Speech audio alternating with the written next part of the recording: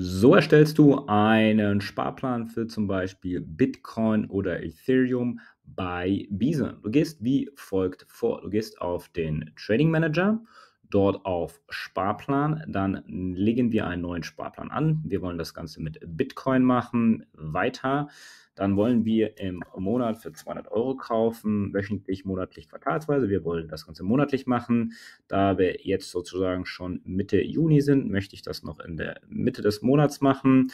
200 Euro, zack, zack, erfolgen zum aktuellen Kaufpreis. Ja, hier nochmal alle Informationen zum 15., wann der nächste Ausführungszeitpunkt ist und drücke auf OK und schon ist der Sparplan übermittelt. Ich kann ihn hier auch jederzeit pausieren und weitere anlegen und so einfach legt man einen Sparplan bei der Bison App an.